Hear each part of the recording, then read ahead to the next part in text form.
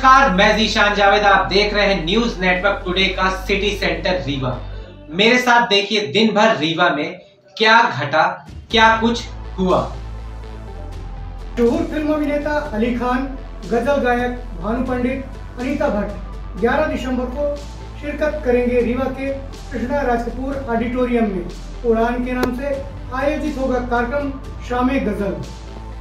Film अभिनेता अली खान गज़ल की दुनिया के चमकते सितारे भानु पंडित अनीता भट्ट 11 दिसंबर को रीवा के कृष्णा राज कपूर ऑडिटोरियम में शाम गज़ल उड़ान के नाम से आयोजित कार्यक्रम में शिरकत करेंगे। इस बात की जानकारी देते हुए कार्यक्रम के आयोजक अनामिका शुक्ला और सिद्धार्थ श्रीवास्तव से हमारी टीम ने कार्यक्रम को लेकर बातचीत की।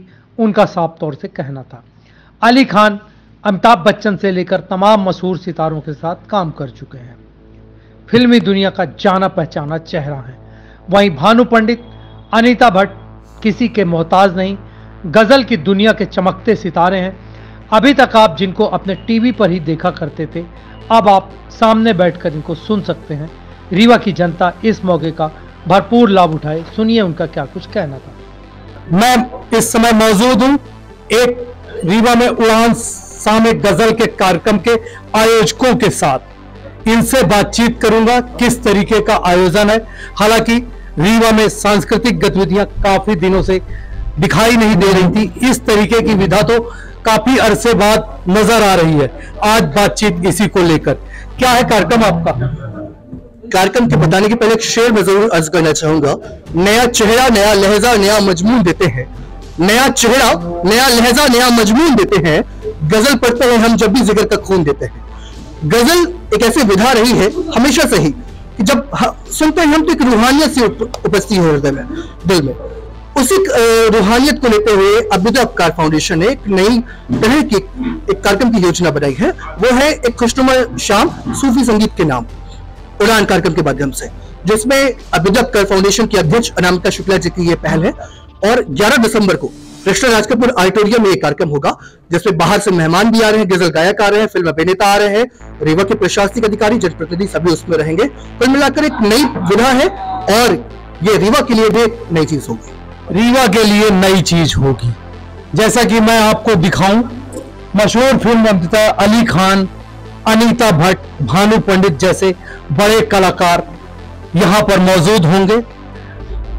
अनामिका से मैं ये जानने समझने की कोशिश करूँगी ये किस तरीके की इनकी उपलब्धियाँ जरा इनके बारे में बताइए जिसको आपने बुलाया। सबसे पहले तो हम अनिता भट्ट और भानु पंडित जी के बारे में बताते हैं। ये आ, ये सभी बड़े कलाकारों के साथ इनके गाने आते हैं बहुत सारे शो आ रहे हैं इनके एल्बम कंटिन्यू लॉन्च होते हैं। राखी सावंत के साथ इनका भी एक गाना आ रहा है और जो हमारे अली खान जी आ रहे हैं मशहूर एक्टर वो आ, बड़े बड़े कलाकार जैसे अमिताभ बच्चन इन सब के साथ अच्छी मूवियाँ उनकी आ चुकी हैं। अमिताभ बच्चन के साथ काम करने वाला कलाकार आपके बीच होगा। साथ ही गज़ल की दुनिया के दो बड़े नाम अनीता भट्ट और भानु पंडित। ये बताओ सिद्धार्थ जी आप इसी फ़ील्ड से जुड़े रहे हैं। जी। जिस तरीके का आयोजन है काफ़ी अरसे बाद क्या आपको लगता है कि इससे रीवा में एक नई तरीके की सांस्कृतिक कार्यक्रमों की उपलब्धियों में एक ये माइलस्टोन साबित हो सकता है? निसंदेह इजात होगा। क्योंकि रीवा हमेशा से ही साहित्यिक, सांस्कृतिक रूप से जाना जाता रहा है, लेकिन बहुत दिनों से एक ऐसी कोई सांस्कृतिक गतिविधियाँ नहीं हो रही थी। एक शून्यता थी माहौल में। ये कार्यक्रम उस शून्यता को तोड़ते हुए एक नई दिशा और दशा रीवा के साहित्यिक क्षेत्र में प्रदान करेगा। साहित्यिक क्षेत्र के लिए बड़ी उपलब्धि।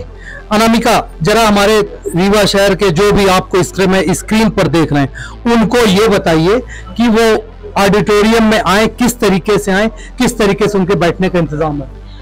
इसमें सबसे पहले तो रीवा की जनता का हम स्वागत करते हैं इस कार्यक्रम में कि वो खुशनुमा शाम का हिस्सा बने और ये फ्री एंट्री है। इसमें कोई पास नहीं है तो सभी आ सकते हैं, सबकी अच्छी बैठने की व्यवस्था होगी। सबके अच्छी बैठने की व्यवस्था है। सारे लोग, रीवा शहर के तमाम लोग, गज़ल प्रेमी, आए, कार्यक्रम का लुत्फ उड़ाएँ, जो कि उड़ान शाम गज़ल के नाम से आयोजित होने जा रहा है।